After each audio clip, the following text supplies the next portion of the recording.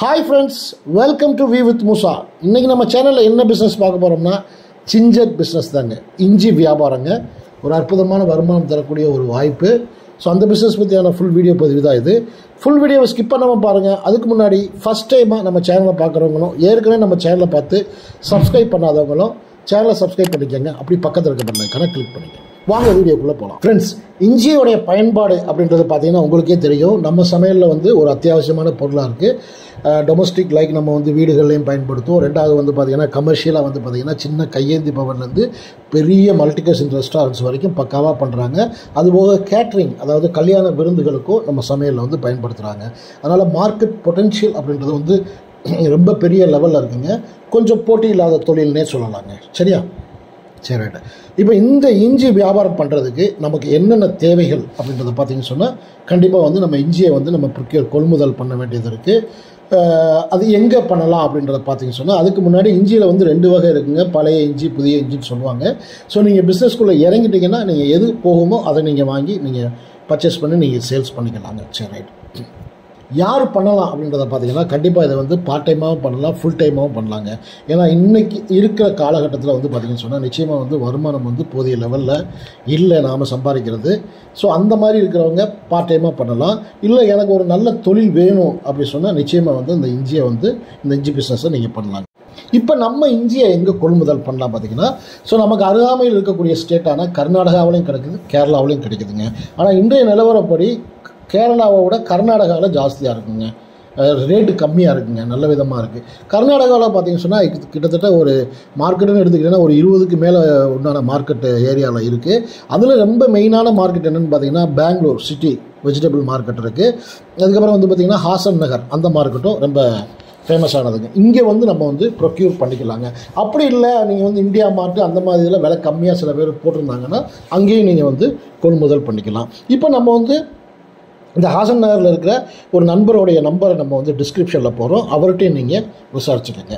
So இந்த business இறங்குறதுக்கு முன்னாடி நாம் சொல்கிற விஷயங்களும் நீங்கள் எடுத்துக்கோங்க. நீங்களும் ஒரு மார்க்கெட்டில் சர்வே எடுத்துகிட்டு நீங்கள் ஒரு ரைட் பர்சனாக இருந்தால் இந்த பிஸ்னஸில் இறங்கலாங்க. சரி ரைட் இப்போ இந்த பிஸ்னஸ் பண்ணுறதுக்கு என்னென்ன தேவை அப்படின்னு பார்த்தீங்கன்னா இஞ்சி அப்படின்றத அந்த பொருளை வந்து நம்ம கொள்முதல் பண்ணிடுறோம். ஓகேவா அது போக என்ன தேவைன்னா இடம் தேவைங்க.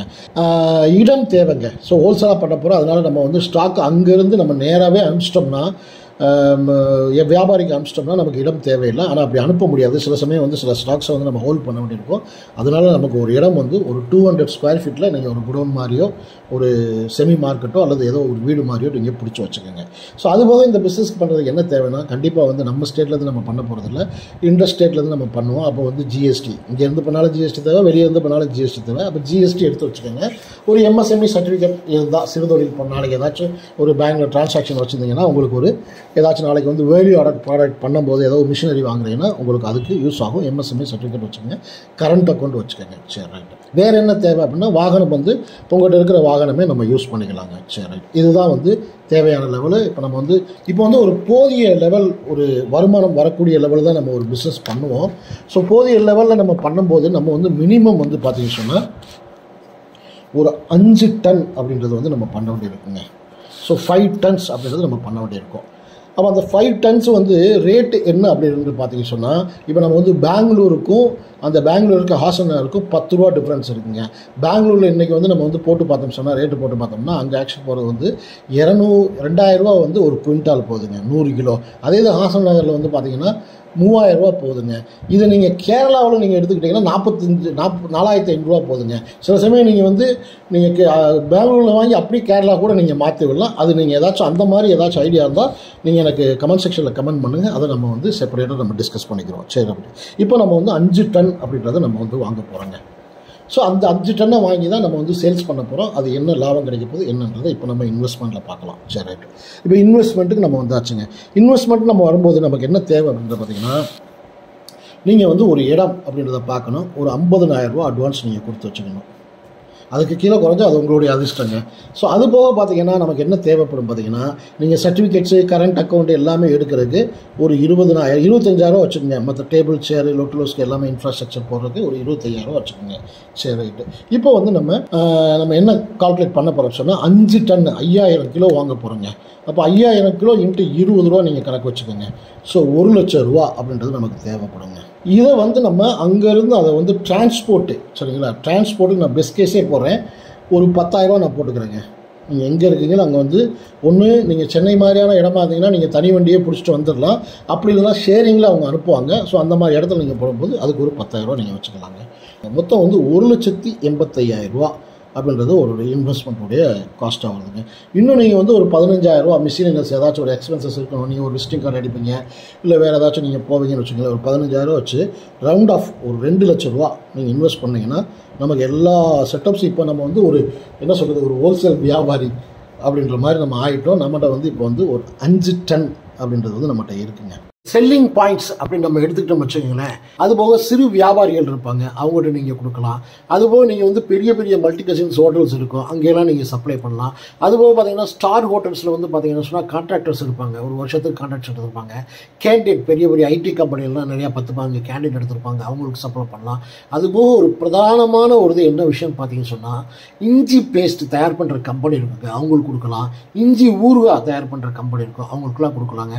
இதெல்லாம் வந்து செல்லிங் பாயிண்ட் பாயிண்ட்டுங்க. நீங்கள் மார்க்கெட்டுக்குள்ளே நுழைஞ்சிட்டீங்கன்னு சொன்னால் இன்னும் வந்து உங்களுக்கு ஏகப்பட்ட செல்லிங் பாயிண்ட்ஸ் உங்களுக்கு கிடைக்கும். சரிங்களா? அது உள்ளே நுழைஞ்சாதான் நமக்கு வந்து அந்த விஷயங்கள் தெரியும். ஃபர்ஸ்ட் டைம் இனிஷியலாக நம்ம ஒரு மாதத்துல நம்ம மாற்றும் போது அஞ்சு ரூபா அஞ்சு ரூபா நம்ம லாபம் வைக்கலாங்க. இப்போ நான் வந்து ஒரு லட்சத்தி பத்தாயிரம் ரூபா நமக்கு வந்து காஸ்ட்டு இன்க்ளூட் ஆகுதுன்னு வச்சுக்கோங்க. அதை நம்ம டிவைடட் பை ஐயாயிரம் கிலோ அப்படின்னு போட்டோம்னா நமக்கு வந்து இருபத்தி ரெண்டு ரூபா தாங்க வருது. டுவெண்ட்டி டூ ருபீஸ் வருதுங்க. ஒரு கிலோவுக்கு இங்கே மார்க்கெட்டில் விற்கிறது பார்த்தீங்கன்னு சொன்னால் முப்பது ரூபாய்க்கு குறைஞ்சி எங்கேயுமே வாங்கவே முடியாது. நீங்கள் ஒட்டஞ்சத்திரம் மார்க்கெட் போட்டுப்பாங்க எல்லாமே பார்த்துங்க. அப்போ இருபத்தி ஏழு ரூபாய்க்கு தான் அவங்க வாங்கி முப்பது ரூபாய்க்கு விற்பாங்க. ஒரு கிலோவுக்கு மூணு ரூபா கிடைக்கிற விஷயம் பெரிய விஷயம். அப்போ நீங்கள் வந்து அஞ்சு ரூபா அப்படின்றத நீங்கள் லாபம் வச்சுக்கலாம். அஞ்சு ரூபா நீங்கள் லாபம் வச்சு இருபத்தி ஏழு ரூபா நீங்கள் கொடுக்கலாம். அப்போ அஞ்சு ரூபா மணிக்கு உங்களுக்கு ஐயாயிரம் கிலோவுக்கு நீங்கள் எவ்வளோ வருதுன்னு பார்த்தீங்கன்னு சொன்னால் இருபத்தி ஐயாயிரம் ரூபா அப்படின்றது உங்களுடைய சாலிடான வருமானமாக வந்துடுங்க இனிஷியல் ஸ்டேஜ் ஃபஸ்ட் ஸ்டேஜ் ஒரு மாதத்தில் இல்லை நான் வந்து கேபிளில் இருக்கேன் பக்காவாக இருக்கேன் என்னால் வந்து இதை வந்து பண்ணிட முடியும் அப்படின்னு நீங்கள் கணக்கில் நீங்கள் வச்சிங்கன்னா கண்டிப்பாக வந்து ஒரு மாதத்துக்கு நாலு தடவை ஃபைவ் ஃபைவ் டன்ஸாக நீங்கள் பண்ணலாம். ஸோ இருபது டன்னு நீங்கள் பண்ணிட்டீங்கன்னா ஒரு லட்ச ரூபா அப்படின்றது உங்களுடைய வருமானம். ஐயா எனக்கு வந்து ஒரு லட்சத்தி எண்பதாயிரரூவா இல்லை ரெண்டு லட்ச ரூபா இல்லை அந்த மாதிரி இல்லை நான் என்ன செய்கிறது அப்படின்னா நீங்கள் வந்து உங்கள் நண்பர்கள்ட்ட நீங்கள் ஷேரிங் பண்ணிக்கலாங்க. ஒரு பார்ட்னர்ஷிப்பாக நீ ஒரு லட்ச ரூபா போடு நான் ஒரு லட்ச ரூபா போடுறேன் நான் ஒரு லட்ச ரூபா போட்டு ஒரு நாலு லட்ச ரூபா இருந்தால் அழகாக ஒரு ஒரு வாரத்தில் நீங்கள் வந்து இருபது டன் பண்ணக்கூடிய ஒரு வாய்ப்பு இருக்குது அப்போது ஒரு இருபது டன் அப்படின்றது வந்து ஒரு மாதத்துக்கு நீங்கள் கணக்கில் வச்சுக்கிட்டீங்கன்னு சொன்னால் உங்களுக்கு வந்து ஒரு லட்ச ரூபா வருமானம்ன்றது ஒரு சாலிடான வருமானம். இதில் என்ன எக்ஸ்பென்சஸ் இருக்கும் அப்படின்ற பார்த்தீங்கன்னு சொன்னால் நீங்கள் வந்து அந்த கடை வாடகை வந்து ஒரு பத்தாயிரரூபா தருவீங்க. ஸோ ஒரு லேபர் நீங்கள் வேலைக்கு போட்டுக்கோங்க. அவருக்கு ஒரு பத்தாயிரரூபா சம்பளம் கொடுங்க. சரிங்களா? ஸோ இந்த வண்டியில் சில பேருக்கு வந்து நீங்கள் வண்டியில் அவங்க வந்து எடுத்துகிட்டு போயிடுவாங்க. சில பேருக்கு நீங்கள் போய் நீங்கள் சப்ளை பண்ண வேண்டியதாக இருக்கும். அதுக்காக நீங்கள் ஆட்டோவோ அல்லது டாட்டா ஏஸோ அந்த மாதிரி நீங்கள் பிடிச்சி இந்த இருபது டன்னுக்கு ஒரு பத்தாயிரரூவா நீங்கள் வந்து எக்ஸ்பென்சஸ் பண்ணால் கூட ஒரு முப்பதுனாயிரரூவான்றது எக்ஸ்பென்சஸ் ஆயிரும். உங்களுக்கு வந்து மீதி வந்து எழுபதுனாயிரம் ரூபாய் அப்படின்றது வந்து ஒரு சாலிடான ஒரு வருமானமாக இருக்குங்க.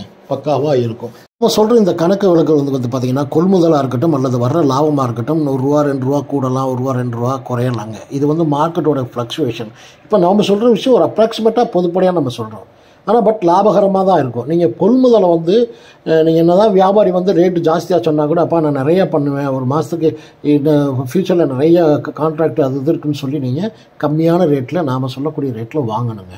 அதுதான் இது. ஸோ அந்த ஃப்ளக்ஷுவேஷன் இது வந்து டிபெண்ட்ஸ் அப்பான் த சுச்சுவேஷன் அதை வந்து நீங்கள் இது பண்ணிக்கலாம். கண்டிப்பாக பிரயோஜனமாக இருக்கும்னு நினைக்கிறேன்.